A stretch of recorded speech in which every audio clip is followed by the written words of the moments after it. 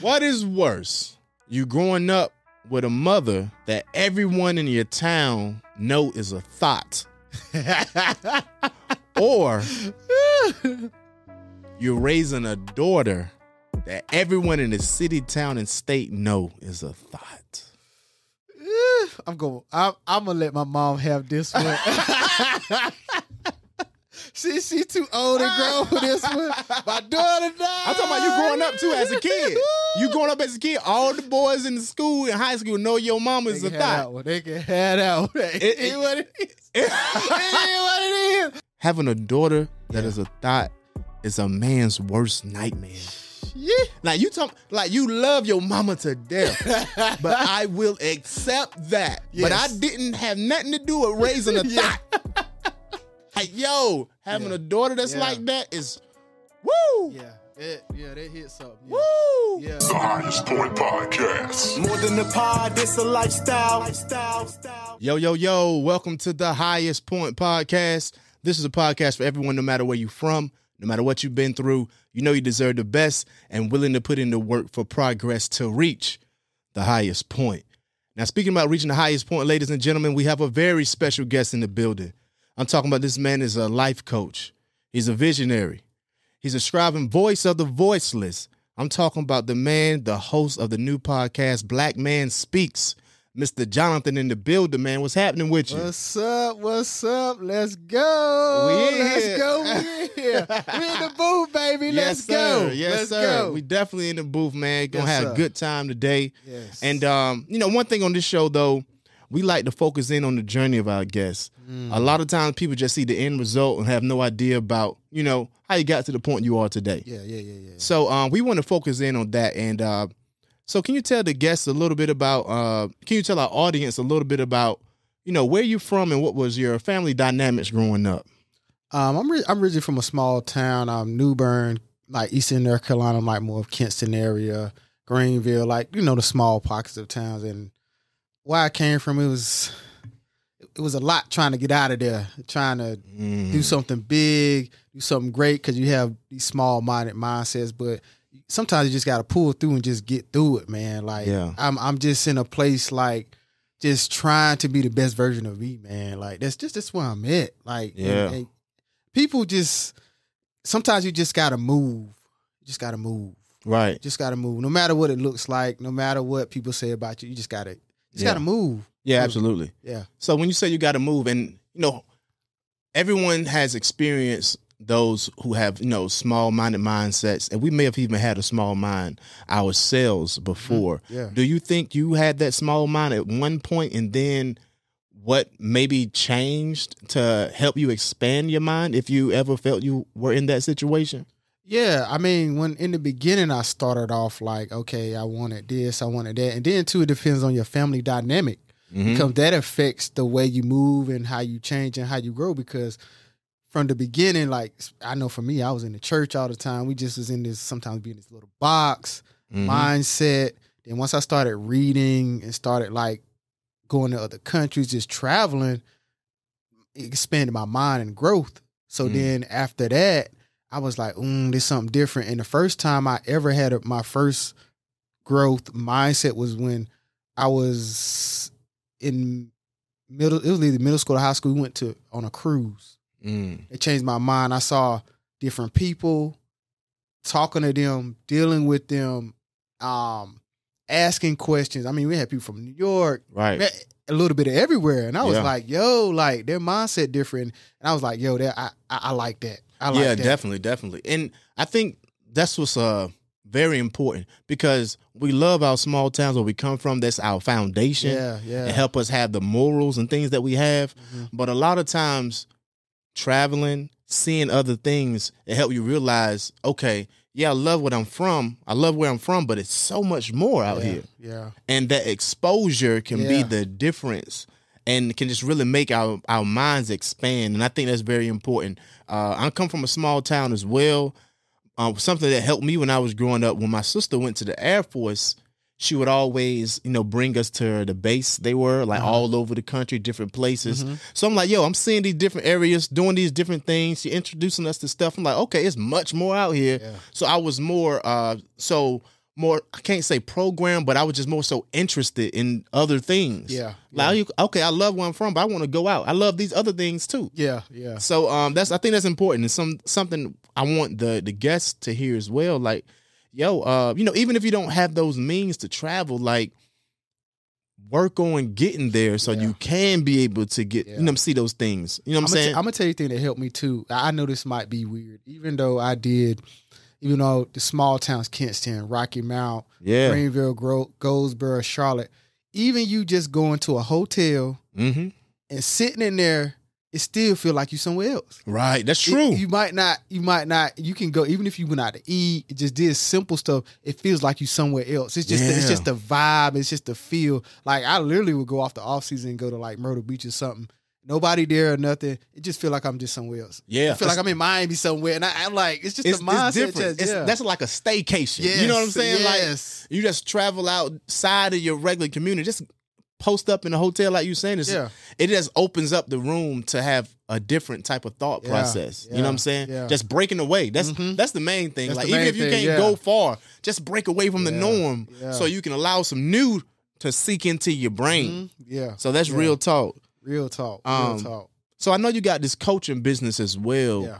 Can you tell us a little bit about how did it start and what's the services that you provide? um how it started was me going through my process of, of relationships like up and down in and out because you, know most time you go through pain points and different things but this time i was on this circle of relationships going in and out and i'm like yo i had to i was like lord just help me with this i, I need some help so it was like i literally had to stop what i'm doing because i was literally on a hamster wheel going mm-hmm. on what's this relationship at back to back back to back and it was like i had a low point and i was like yo like what is this so I decided to hone in and say, yo, let me work on me. Don't worry about nobody else or anything like that. And that's how my coaching came out. So I had to coach myself out of a place of where I was low. So I had to literally my my business is called Speak Life to Me. Mm. So I had to speak life to myself so I can come up different, change and evolve and be the best version of myself. Along the way, God has helped me too. Yeah. And it's like I had to really in that space, I had to really lean on him. Like I really had to. And it was just so great to see the person I am today, what I've become, and just helping other people as I go. And it was like the uh sometimes your purpose come out of pain. yeah. Yeah. That's it definitely fact. come out of pain and it comes out of the the struggle and everything you've been to. At this one point, everything came together. And the crazy thing with the with the coaching or the business, I've been already been doing it for so long anyway. And sometimes you don't know that because uh, by trade I'm a barber. So the whole time I've been speaking to people, the whole time speaking life in them and Yeah. and changing their lives uh, through a haircut. But sometimes it haven't even been times when I I'm not even, I would say, not even cutting. We just not cutting and just talking, and I'm Right. just speaking life in them and talking to them. How you doing? What you been up to? And I've been doing it the whole time, my whole life, and they bring me up to this point. Uh, yeah, yeah, Yeah, I mean that's so true, man. It's amazing how that barbershop talk, that barbershop type is it's like it's different. Like you can even go in there. I I got my I got my appointment for my cut, mm-hmm. But you know, what I'm saying you was arguing with your old lady before you left. yeah. When yeah, you get yeah. there, it's like a breakaway. Mhm. Y'all talking about sports. You can talk about life. Maybe some things you can't even say to your wife, but then when you come back home, you got a whole different type of Right. you don't even have you not even, don't even remember what you was mad about anymore. You know what I'm saying? You're not as stressed. So you know, uh, speaking life to me is is is very important, and Yeah, um, I can see how they can be beneficial to a lot of people. Yeah. Um, what was there any motivation behind you doing that? Anyone that did you have any mentors or coaches on the way to help you start that up? I would say, um, I like because you know sometimes you can't be in in rooms with people, so sometimes I, I use books. Oh yeah, I use books. I use podcasts, like to really like because sometimes they they help you get little nuggets. Shoot, even sermons sometimes help me a lot sure. too. Like just little nuggets here and there. Because along your journey, along the way, people things gonna come your way. You just gotta accept it for what it is, like and be in your reality or and be honest with your situation. But also you have to um, just because I was in a place where I'm used to giving, giving, giving, but I never received or, or, or let Mm. people to give to me. So now I, I take it for what it is. Like, yo, I, I can receive that now because I've done I've done a lot of work too. But Right. when like even with Speak Life to me, I literally had to. I was in a uh, therapy session, and the guy he was like, uh, my my therapist was talking and packing some stuff, and he was basically like, uh, "We're gonna pause right now." He said, "You, as a little child, you never felt like you was you wasn't enough." Right. And then when he hit me with that, I said, mm, "That hurt deep." Yeah. because that little boy never heard you are enough. You never cared for it. And sometimes as men, we don't hear that. So I haven't Mhm. heard that in so long. And for him to tell me, I cried in my session. Yeah. Yeah. I'm like, mm. so that what really started it because I was like, yo, I'm enough. And every day I told myself I gotta say, I'm enough. Jonathan, you're enough. You are enough. You're enough. And that's what how everything came into fruition. It was like, yo, you are enough. Cause at the end of the day, you are enough to be the best version of yourself. right. And you owe it to yourself to be that too. Yeah, yeah, for sure, for sure. You're everyone is definitely enough, and when we look in the mirror, we got to make sure we telling ourselves that, just like you was telling yourself, Mm-hmm. and um, and and also if you're not hearing it, it's not the end all be all. Yeah, yeah, It- yeah. The main thing is you believe it, and then once you believe it, you can be taking steps in life that are differently, and then you can start hearing more people saying it to you as well. Mm-hmm. Yeah. because you're moving different. You got a different type of light. You know, you got that light. Yeah. You know what I'm saying? Everybody, no, it's it's no one out here that doesn't have the light. It's just, are you going to allow it to shine or not? Yeah. You know what I'm saying? Yeah. Just yeah. like when you were saying, um, you allow things to be received. You know what I'm saying? A lot of times, uh, men can be egotistical. You know what I'm saying? Like, Yeah. cause we all we are literally programmed to just only provide. Yeah. All they say is a man is a provider. A man is a provider. That means that you always giving, giving, giving, Yeah. giving. Yeah. When am I going to receive something? Right. Right. And fellas, it's okay to receive. Yes. You know what I'm saying? Like Yes. we don't know it all. No one knows it all. So we're big. We're more than providers. Yeah. We're more. Pro- we're more. We're not provider and protectors, but when this is what I ask people when they say, even with women or in general, they say, "What is pro- pro- provider and protector? What does that look like for you?" Because Mhm. it's different for everybody. Because something they they missed along the way as a child. So I asked them, "What does that look like for them when Mhm. in the relationship?" So when protecting and providing, it don't always have to be money or physical. It can be emotional, Yeah. communicational, Right. like these other things that you you cannot uh, bring to the table uh, that you can't see. You know what I'm saying? Because you can see the money, you can see the me physically taking care of you Right. or or doing things for you when you get sick and stuff like that. But sometimes it's about that mind. yeah. Sometimes that emotional support I need in my downtime. Sometimes, Yeah. yeah, Yeah. I mean, I think that's more important. yeah, yeah. you know yeah. what I'm saying? Like if you if you keep yourself in a good mental space, if you Mhm. have someone that can support you mentally, emotionally, spiritually, all those things going to directly Im- and actually impact the output you put into the world, Mhm, your mhm. work. You know what I'm saying? How you treat other people, Yeah, yeah. other people. It's it's amazing how many other things it can impact. So um so yeah, man, I think you're absolutely right on that. And uh, you know, even speaking about that, we're wrapping up another year, 2023 out the window on to 2024. yes. So, you know, what I wanted to ask you, what is one of your biggest mistakes you learned from this year? Or that epiphany moment where you actually thought to yourself, you or, or you finally realized something that you overlooked before? I would say the biggest thing for me was I looked over me. Mm. The reason why I say that is because, like we talked about, you give, whether it's in relationship or yourself, it's like I'm so used to giving, not receiving, but I looked over myself to the point that I was willing to um, take myself out for somebody else. Ah. and it's like now I, I I have this authority, I have this power in me now to to change that and be be who I need to be, my authentic self. And I always say that, like, you can't beat nobody can beat you at you being you. right. That's a fact. Nobody can beat you at you being you because you be the best version of you. Now you show up different, and even if you when you become the best version of yourself, nobody can take that away, regardless of what that looks like. So what I had to do was be like, if I said I want to be loving, forgiving, I became loving and forgiving, and now um, what sometimes when that happens, you, you asking for what you want. So Mhm. God will bring it to you to test you to see do you really want it. Right, right. And then if you when you pass the test, now you become it, and then you show up as forgiving. And now when the when you have to forgive the person, it's easy now. Right, It's right. easy. So I tell people just become who you're going to be, and that that was my biggest lesson. Like Jonathan, be you, be authentic, but also love yourself enough. If if anything's the ship not shipping, or the um, the ship is not shipping, or this is no longer serving you, it's okay to walk away. Right. It's okay that they they they might not be in a capacity to love you. They might be in a capacity to to support you, and it's Right. okay. Just be you. Keep going. Keep striving for the best. Like it's okay. They might be in a place where they might not be able to receive what you have. And I always say this: if a person love you, they will uh they will take all of you. Oh, definitely. They would take definitely. all of you, whatever that looks like. They they they they're not gonna take bits and pieces of you because I was learning people want to take bits and pieces of me. I'm- Right. I'm not no apple. Right, right.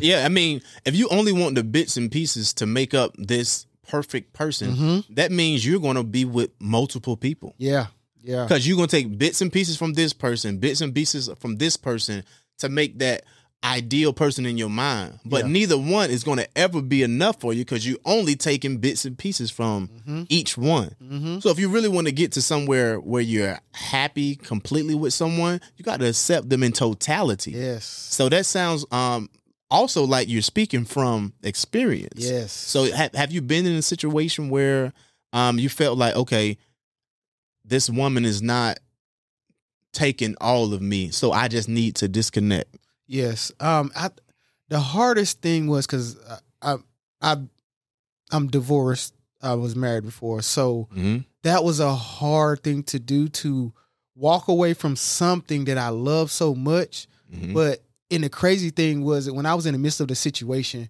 uh, I'm like, Lord, help me. How how can I navigate through this? And in the midst of it, what I've noticed that he still dealt with me in the process, but he still saved me. He said, I have to separate you from this to be able to save you. Wow. And I never like because literally what I normally do is it's kind of like I have the life jacket on me, I take it off and give it to them. right, right. And I can't continue to do that. And now you seeing like you seeing the good parts of me, but I can't continue to save you and I drown every single time. What's some examples of that? Like, can you speak to us?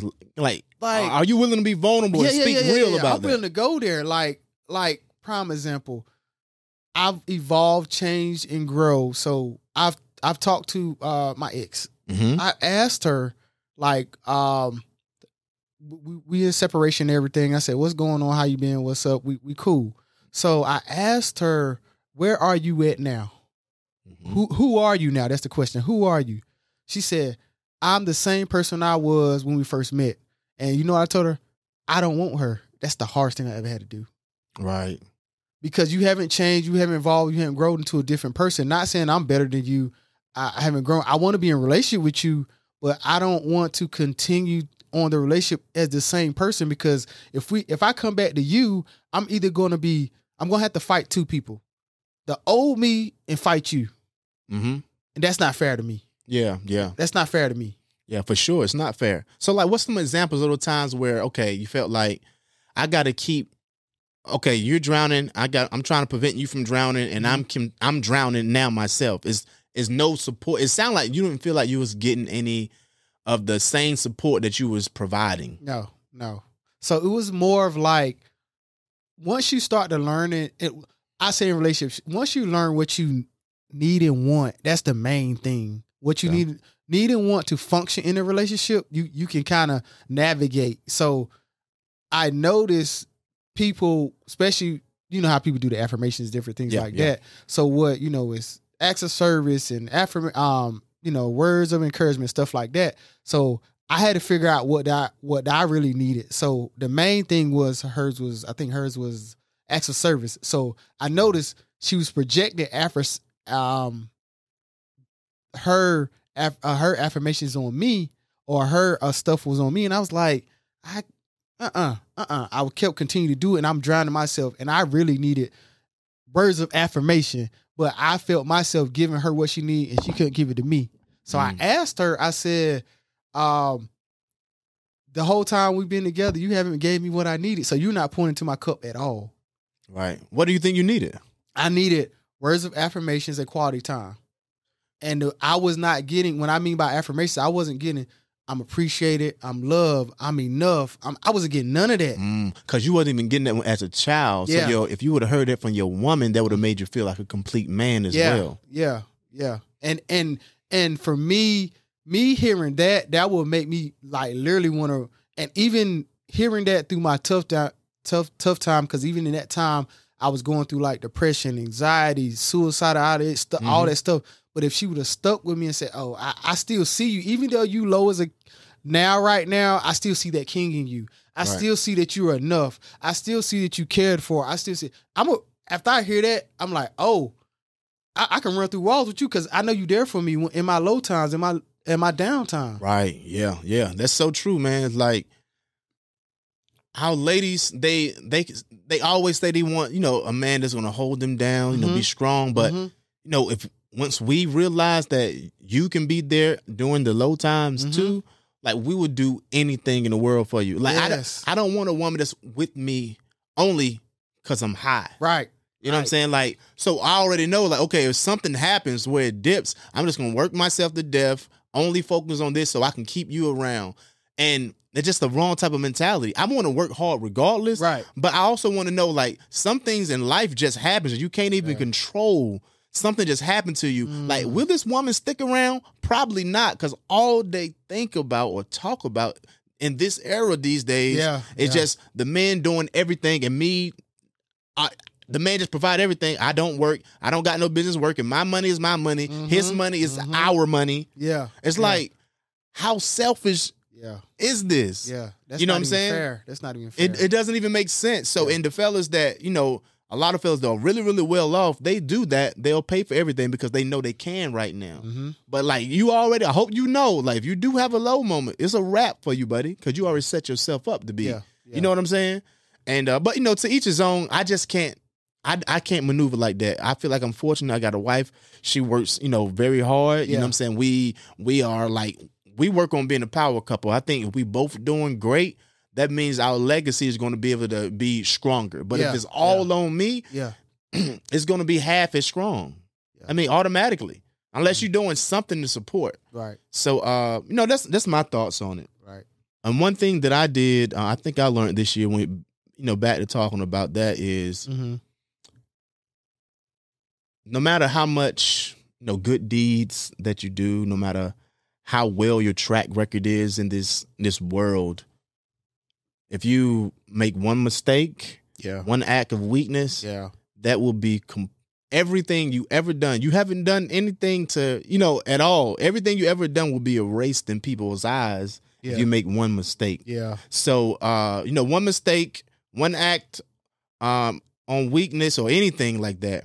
I so everyone you must move out of strategically. Never act on impulse. Yeah, Never yeah. act on emotion mm-hmm. because you know all your work you ever done can be r- erased Erased, yeah, from Canceled. one canceled. right from one act Yeah. from one thing you said wrong Yeah. to someone everything can be erased so i just tell everyone you know just make sure um you're, you're making moves correctly don't just jump out there off of impulse if you're feeling the type of way you're feeling emotional about something Yeah, don't respond in that moment Mhm. wait till you have a little time to digest it yeah, and then respond and then actually most of the time a response is not required yeah. you know what i'm saying And I'm gonna tell you that's the reason why I really got into the coaching space anyway, especially dealing with men. The reason why because we as men have been uh over time emotional. Mm-hmm. So dealing with the emotional space of a man, I get it. Like we're human. Um, but that's why it's a lot of men in in the prisons and the jails because of the emotion. They haven't dealt with a little boy. right right and, So- and we were taught to suppress that little boy Yes, yes, yes. So now he's showing up as a grown man acting out. right yeah And that and that's the main thing. So my thing with the coaching is like I want to help you hone and be the best version of yourself and be the man you're supposed to be so you can show up different and now people treat you different and you look matter of fact it's not even about the people it's about you seeing yourself different Yeah, for sure. and you That's healing it. that little boy to a point that he still shows up but he shows up in a different manner not Right. angry not mad not upset not um, you still have the emotion. That's that's okay to have that, but Right. you don't have to be in a place where now you got to go pull a gun out on somebody. you got to go be abusive. No, we- we're, not talking. That that's not cool. It's, it's already enough of us in there anyway. Yep. So we got we need to, we got to change that narrative. We got to deal with the emotional part of this because I've really had to do some work on the little boy inside me. Um, Right. He used to cry a lot. He used to be mad. He used to be angry Yep. due to stuff that happened in you know childhood and, and different things and trauma Right. stuff. But now I I got I, I love him now. Yeah. I accept him for him now. I literally had to be in a place to like really. I, I do this now. I'll I I I I get in the mirror and I clap and say, "Come on, let's go, right. let's go. You got this today. Yeah. You're gonna do this today." And then I'll hug him and say, "It's okay. Yeah. It's okay. Be your own hype man. Yeah, you got to. You gotta be your You own hype man, to. bro. I literally hype myself up for so many different things. You got I know to. my old lady be looking at me like I'm crazy sometimes. but yo, I be really hyping myself up. I like um like even like I was telling people like yo before each interview Mhm. that I have for something, I go to my thug motivation, throw on my Jeezy straps. You know what I'm saying? I be I be literally in a shirt and tie, listening to my Jeezy before my interview. It's like just getting hype. You know what I'm saying? Telling Right. myself what I can do. I'm motivated. Yeah. And um, you know, I, a lot of time I look in the mirror, just like you were saying, like, and tell myself, like, yo, you can do this. Like, yo, you the best that ever done it. Yeah. you can do this. You better Yes. realize your power. You that one. You that nigga. Yeah. like all that stuff. So, um, got to be your own hype man. Yeah, for got sure. to be your own hype man. for sure, that's a fact. now I'm gonna I'm gonna switch gears on with you real quick. Mhm. Tell me what's worse. It's totally. We switching completely gears. Okay. Tell me what's worse. exactly. Skirt, skirt. Exactly. Skirt, skirt. What is worse? You growing up with a mother that everyone in your town, city, state mm-hmm. know is a thot, or you're raising a daughter that everyone in the city, town, and state know is a thot. Eh, I'm going. I'm, I'm gonna let my mom have this one. she she too old and grown for this one. My daughter died. I'm talking about you growing up too as a kid.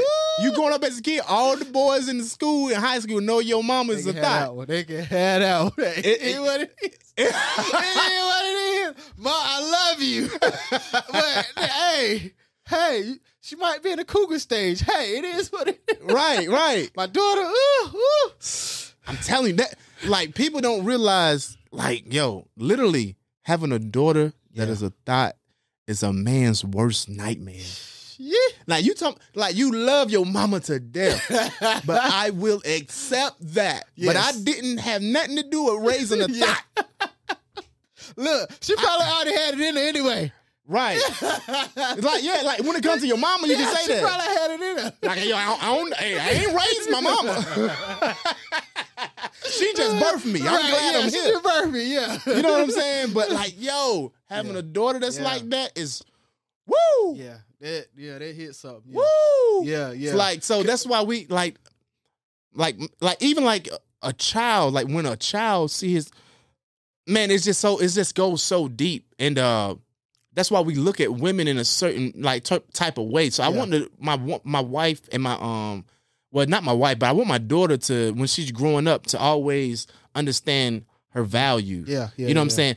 But anything on earth, diamonds, uh, art, Mm-hmm. the ones that are the most valuable is the ones that are less accessible. Yeah, yeah, yeah, yeah, yeah. You know what I'm saying? Yeah, The yeah. less accessible something is, the more value it Yeah. has. Yeah, yeah, That's with anything. yeah. Subscribe now for part two. The Highest Point Podcast. More than a pod, it's a lifestyle. lifestyle.